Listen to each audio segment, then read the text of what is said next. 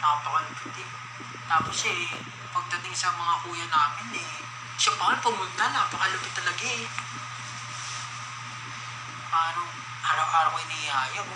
Diyan, ano, road trip naman tayo. Kahit saan tayo pumunta. Tapos ano tayo, carpool karaoke. Ayaw talaga. Hindi pumapayag. Tapos eh, pumunta sa mga kuya sa Bulacan, layo. Daya. May nag-adapt na ba sa homeless mga Awit talaga yung system kahit kailan.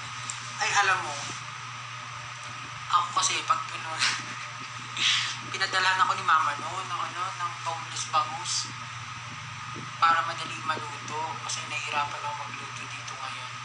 Walang mga stock. So, naubos na yung stock pala. Tapos, bigla nag-chat si Stella, homeless bangus pala yung nakalagay sa picture. Sabi ko pa naman, nagpadala na si mama. Next ano pa ako eh, sobrang ano pa eh. Tawag dito, sobrang excited. Uy, nagpadala na si mama eh. Tapos pagbasa ko, homeless bangus. Sabi ko sa kanya, ikaw na lang